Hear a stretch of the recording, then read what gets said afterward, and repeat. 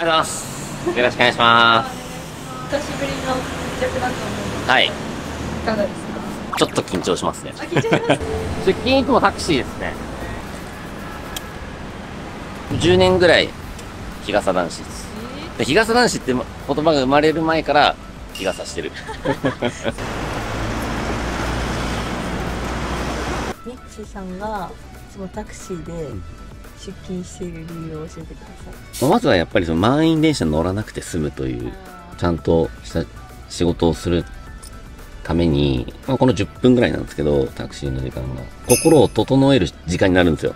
電車だと例えば遅延したとか、ちょっと嫌な人にこう遭遇したとか、足踏まれたとか、座れたり座れなかったりとかでも結構違うじゃないですか。電車通勤してる時って店着いた時にちょっとぐったりしてる時とか多くて、そっからもう一回スイッチ入れなきゃいけないんだけど、タクシーだとやっぱり着いた瞬間に100でスタートできるので、それがすごくいいなと思ってます。お客さんって YouTube の中のミッチーさん求めてきてる人が多いと思うんですよ。だから僕もこの10分ぐらいで大野道弘からショートボブ専門美容師のミッチーになるみたいな、そんなスイッチをね、入れる時間なんだなっていうのを、通勤し始めてからね、なんか気づきましたね。そんな簡単な気持ちで、人様の髪を切っちゃいけないと思うんですよね。だからこそ、しっかりスイッチを入れて、出勤をしたいと思ってます。ああまた傘が出た。えー、4回目です。傘はね、めちゃくちゃ忘れる。でも、傘は、あの、1本目です。必ず取り返す。もうこの景色も19年ですよ、私。一番上ですね。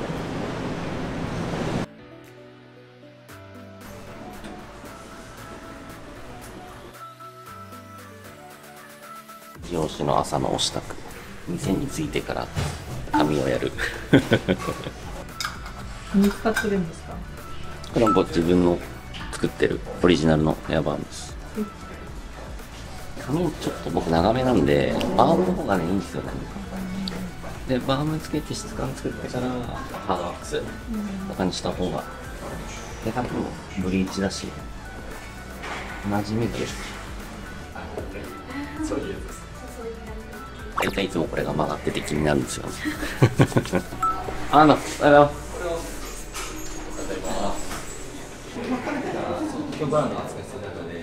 ありがとうございまはい。すみません、ありがとうございました。ありがとうございますよろしくお願いします。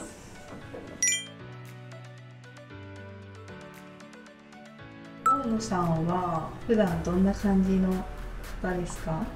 え普段はめとても仕事に熱心な方で朝から夜まで働いてるって聞いてるのでお休みもないって聞いてるのですごいと思います。大野さんから学んで何が成長したと思いますか？言葉遣いとか行動が一番変わったかなって思います。とてもそこに関しては厳しく指導していただいているので、失礼のないようにできるよう頑張っています。今日はどうどうします？僕すぐで丸くうんふわってなってる髪型がすごい憧れだったんですけどでも今までの美容師さんはやっぱりなんかこうふわっとしてる毛だからパーマの方が似合うってずっと言われててでも一回やってみたい。ただなんかシャキンっていうイメージが強くてミッチーさんの動画見てあいいなみんななんか理想の髪型してもらってていいなと思って挑戦してみたいやりましょう、これは。絶対やった方がいいです。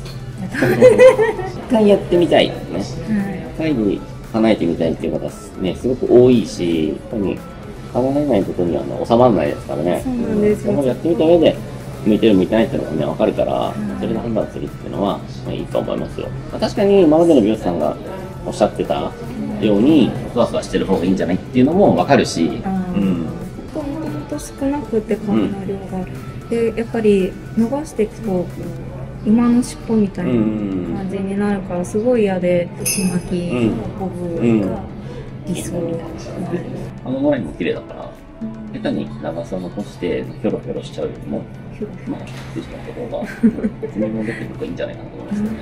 このぐらい。人差し指のラインぐらい。で切っちゃい。ます。はい。念願の。念願の。はい、頑張ります。お願い。します。はい、よろしくお願い。します。お新規さんです。すごい。前から連絡くださってて、一般の方向けに、ミッチーがあなたのパーソナルトレーナーになりますってい。うサービスがあるんですけど、 Zoom の無料カウンセリング来てくださって、その髪が細くて、うねる、で悩んでいるっていうのを相談してもらった時に、今年の梅雨は宿毛矯正をかけていただきたいのでっていうので、念願のという感じで、はい、行きましょう。念願のボブ。どちらからいらっしゃったんですか？東京しか来ましただからこっちに出てくるときにあまりの都会にキョロキョロしちゃって。分 かんなくて。緊張しますよね。表参道とかね、銀座とかは。ミッチーさんどうどうやったんですか？ミッチーさん YouTube で知りました。なんか流れてて東東国専門って思ってあそんなのあるんだと思ってやっぱなんか魔法のように変わってあすごいってなんかっぱりいろんな悩みを抱えてる方ってやっぱりどうしても多いし、まあ、美容師さんもいろんな方がいるからなかなかこう理想と現実がこううまくいかなかったりするのもまあもちろんわかるしお客さんからしたらこうなりたいっていう髪型が合ってきたからにはしてもらいたいっていう気持ちがやっぱ強いからでそれで三井さんの動画をひたすら見てありがとうございます。ショートを1回しかしたことなくて、なんか自分のイメージしてるショートじゃなかった。なかったな。しかも違和感しかなかったのであ自分にはショートはあ似合わないんだなって思ってもうそこからはもうずっと伸ばしてるか肩ぐらい。肩ぐらいでね。長さぐらいしかしたことなくて。今日のお客様の髪質でカットするときって、はい。気をつけてる地毛がうねりがある状態で、で、目指すスタイルがナチュラルなストレート。だからギャップがあるので、まっすぐになった状態でのスタイルのイメージをしながら切るのが大事ですね。あとは、ボリュームがね、あんまりないというのがお悩みなので、まあ、減らしすぎない。厚みが出やすいベースカットをする。そうこうしてる間にあっという間にボブになりました。すごい足も調整していきますので。はい。ミッチーさんの動画でもここにいるのに、ここで僕の動画を見るっていう恥ずかしめを受けることが多々あります。前も後ろもみたいな、ちょっとよくわからない状況になってる。宿毛矯正したことは？ないですおお、初めてか。大事です。なりたい私に、ね、なるっていうのはね、大事だし、一度ね、なったことがあるかないかで、人生観変わりますから。そうですね、まあ、自分の中で、まあ、やっぱりあー違うのかなって思ったら、そしたらまあその時はその時だし、まあ、どうんですよ。子供がいるんですけど産後にすごい本当髪の毛が今よりさらに薄くなっちゃって。前髪が本当になかったんですよ、えどうしようって思って帽子かぶって家ではもうなんかピンでガッて止めて それを考えたらよかったと思ってちゃんと生えてきてそうですね。まあ、顔のね、あの、一時的な薄毛は絶対元に戻るんで、結構ね、びっくりしちゃう人いるんですけど、どうなる、なりますからねっていうのは、うんお伝えするようにしてますね。終わりです。お疲れ様でした 恥ずかしめにあっています。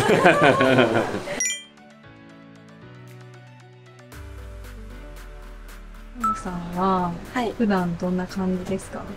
普段は、なんかずっとニコニコ喋ってる感じですね。なんかインスタとか見てるとすごい真面目な寡黙な美容師さんっていう感じなんですけど、もうずっとなんか喋ってる人ってイメージです。モンさんから学んで何が成長したと思いますか？大野さんから学んだこと私直属のあのアシスタントとか大野さんのはやってないので、ただあの大野さんと同じ宿毛矯正ずっとやってるんですけど詳しい薬剤のこととかトリートメントいいものを教えてくれたりすぐお店にあの材料入れてくれたりするのでそこはもうあのお客様にすごい還元できますし私も勉強になるのですごいありがたいなと思います。2分、2分だけランチタイム。2分ランチ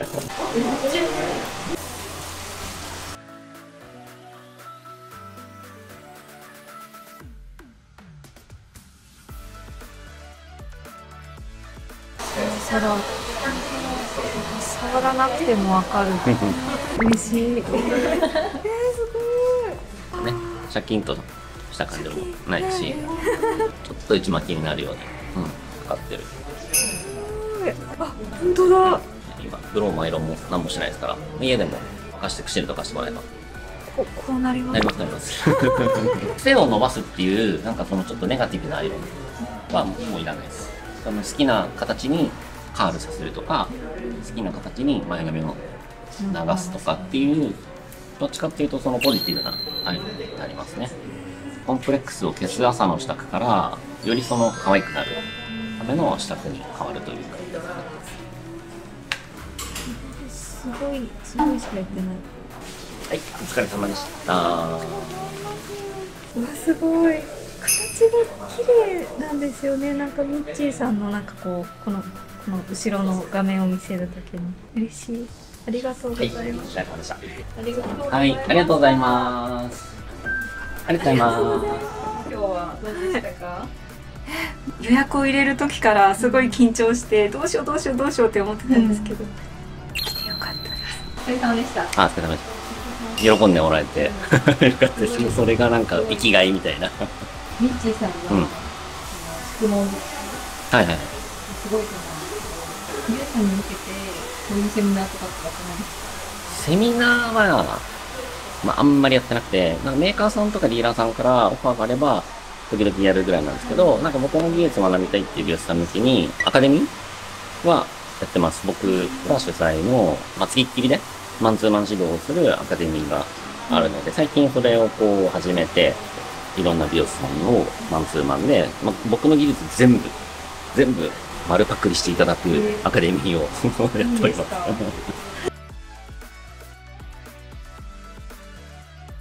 友野さんかななんで成長したことって何ですか？お客さんに対する接し方とかはすごい勉強になるなと思って一つ一つの細かい気遣いとかがすごいなと思って毎回見てます。社長さんから大野さんの統率力で店がすごく良くなったって聞いてるんですけど具体的には？そうですね。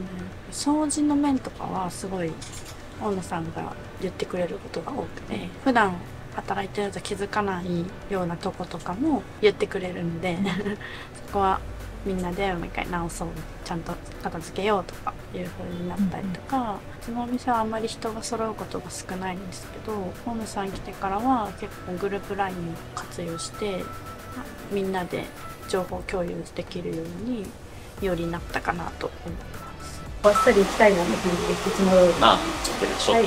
はい。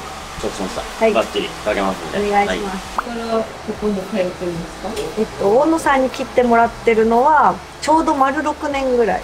最初のきっかけは何だったんですか？職場の先輩に髪の毛をショートにしたいけど天パだからっていう話をしてたら大野さんいいよっておすすめしてくれてそれが最初ですね。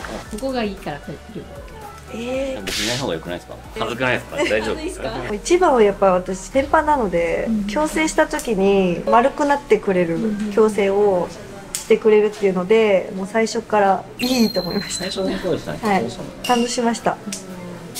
そうでしたね感動しましたアイロンを一回に通して決めるよく見てますね。そうっすよ。アイロンってこのワンスルー目の一番大事なんですよ。これで形決まっちゃうんで。まあワンスルーじゃ伸びない場合もあるんで、1回の熱入れ、うん、なんか引っ張って伸ばしてるんじゃなくて、熱を入れるっていう表現をよくするんですけど、ここです。これ、これ、これ、これ熱入れですね。これで決まるようにするのがポイントかな。なりましたありがとうございますあーじゃあまたはい楽しんでくださいな。ありがありがとうございますありがとうございます。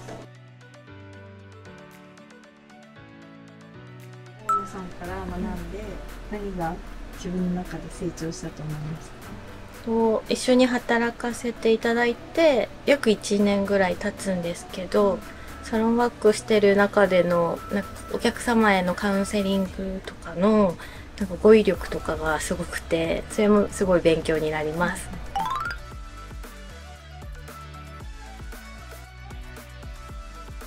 から大野さんのとに通われてるんですか？えーっと2019年の12月が初めてです。で今5年目？4年半ぐらいですね。その前の月に娘が初めて先にお嬢さんそうでしたか？そうです親子でね。はいお越しいただいて。2人でいいよねって言って娘の方が先に予約を入れてよかったよかったって言ってたのでじゃあママもやろうみたいな感じであとはもうよくその動画を見てたので動画見ててあいいねっていう話をしてて。どこがいいとかあります？自分が思ってた感じにやっぱり仕上げてくれるっていうところですね。あもうちょっとここがこうだといいなと思ってるのをなんかもう汲み取ってくれてる感じです。ああなるはい。ほどあでもそれはね結構意識してるかもしれない。こういう風な感じなんだなってなんかすぐそれを察知してくれてるっていうかそんな感じですね。次の予約の日を楽しみに また行ってるの。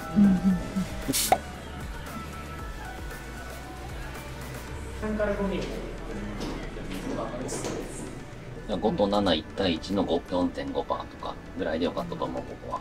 どうですかいつも通りすごくいいです。辛さツヤツヤで。カラーは根元しかしてないので、でね、毛先に、なんだろう、行くにつれて、透明感が出て抜けてくるような感じに白髪を染めてるので、必要以上に傷まないんですよね。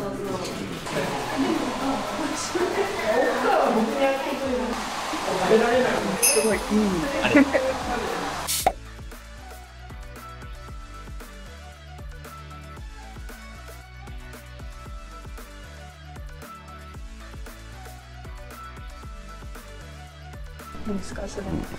奥さんが描いたちいかわと八割らしきものです。らしくもない八木さん曰く上手くなっているらしい。違いがわからないです、僕には。お疲れ様でしたお疲れ様でした。今日一日どうでしたか？いや、まあ、心地よい疲れで。まあでもやっぱりお客様が喜んでいただけるので、まあそれでこう、ずっとやれている。19年飽きずに美容師をやれてるのは、本当にあの笑顔のおかげでやれてます。今日はお疲れ様はい、お疲れ様でした。ありがとうございました。長い時間。ありがとうございます。ありがとうございます。